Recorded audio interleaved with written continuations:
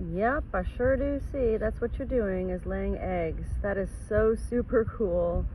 I can't even believe this is the first time I'm witnessing this. You are a good mama.